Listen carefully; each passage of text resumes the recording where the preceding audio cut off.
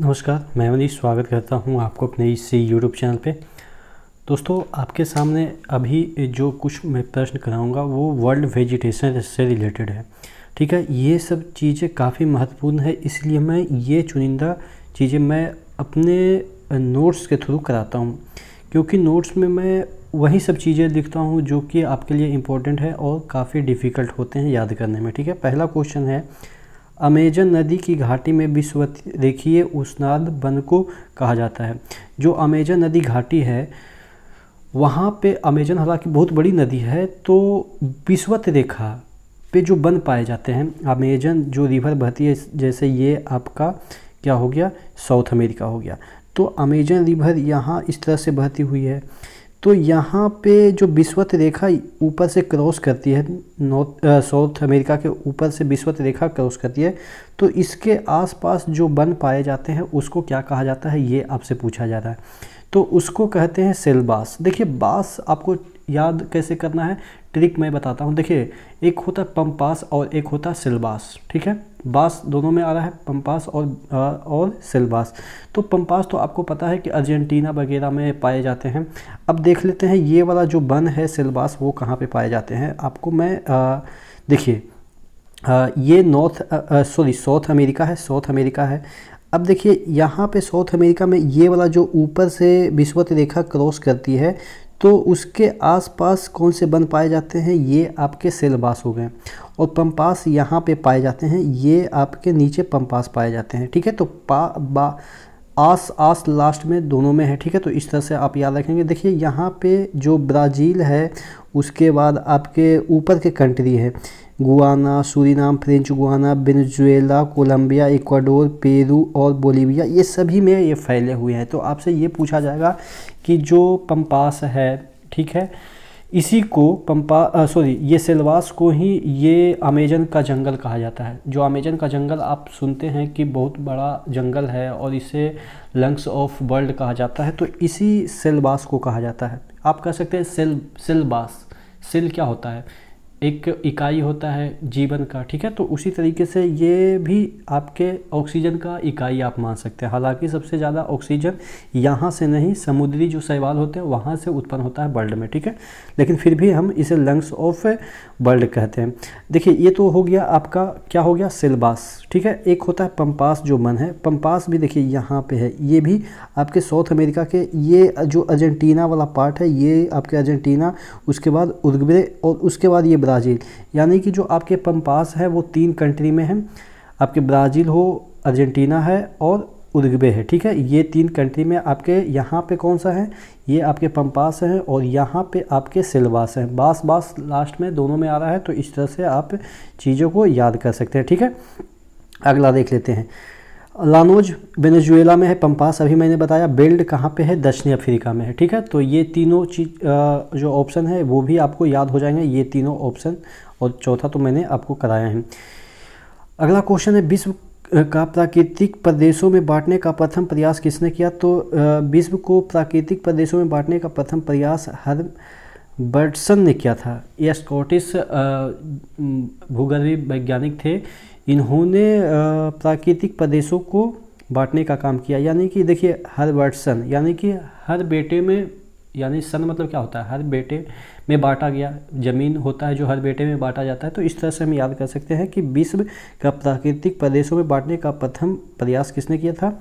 विश्व को प्राकृतिक प्रदेशों में बांटने का प्रथम प्रयास हर्बर्टसन ने किया था। किस प्राकृतिक प्रदेश को आलस्य का प्रदेश कहा जाता है? यहाँ पे देखिएगा, किस प्राकृतिक प्रदेश को आलस्य का प्रदेश कहा जाता है? तो जो विषुवतीय प्रदेश है, विषुवतीय यानी कि ये आपके विषुवतीय प्रदेश है। यहाँ पे जो भी प्रदेश होंगे, वो विश्वतीय प्रदेश होंगे, उसी को आलस्य का प्रदेश कहा जाता है। अब आलस का क्यों? क्योंकि इस तरह से याद रखिएगा कि यहाँ पे विश्वत रेखा पे ज़्यादा वर्षा होती है तो यहाँ पे घर से बाहर आदमी निकलेगा नहीं, घर में ही पकौड़ा वगैरह छानेगा। वर्षा के दिन में तो पकौड़ा वगैरह छानते ना। तो इस तरह से याद रखेंगे कि जो आलस का प्रदेश है, वो विश्वतीय प्रदेश होता है। क्यों? क्योंकि घर में ही रहते हैं वर्षा में, ठीक है? इस तरह से याद कर सकते हैं। सिल्वा बंद कहाँ पर पाया जाता है? अभी मैंने बताया सिल्बा सिल्बा उसी को कहते हैं। सिल्वा एक प्रकार का आप कह सकते हैं एक पौधा भी है, ठीक है? जो कि सिलबास जो वन है, जो कि अभी मैंने बताया विश्वतीय प्रदेश है विश्वत रेखा पे पाई जाती है सिलबास वन। ज़्यादातर आपके कहाँ पे पाए जाते हैं? ब्राज़ील में, लेकिन और भी जो कंट्री है, वो मैंने अभी आपको मैप के थ्रू या पिक्चर के थ्रू आपको समझा दिया। विश्वतीय प्रदेश के निवासी जो कि कांगो में रहते हैं, उनको क्या कहा जाता है? देखिए, कांगो में जो रहते हैं, जिसको हम जायदे का बंद भी कहते हैं, ठीक है?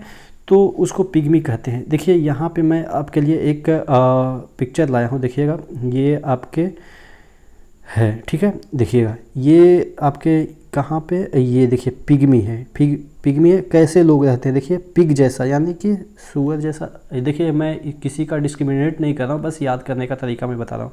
पिग्मी मतलब काले। पिग क्या होता है? काले। ठीक है तो ये कांगो काले ठीक है? या यहाँ पे आपके जो अफ्रीका है यहाँ पे बीच में ही कांगो है, ठीक है? रिपब्लिक ऑफ़ कांगो और एक डेमोक्रेटिक कांगो है, ठीक है? तो ये दोनों जो कंट्री है, उसमें एक जनजाति पाई जाती है पिग्मी नाम की, ठीक है? तो वहीं पूछा जा रहा है कि जो ये विश्वतीय रेखा पे पाए जाने वाले जो जनजाति है, उसी के बारे में पूछा जा रहा है। यहाँ पे कि विश्वतीय रेखा प्रदेश में पाए जाने वाले कांगो बेसिन में जो जनजाति पाए जाते हैं, उनको क्या कहा जाता है? पिग्मी। काले हैं, इस तरह से भी आप याद कर सकते हैं, ठीक है?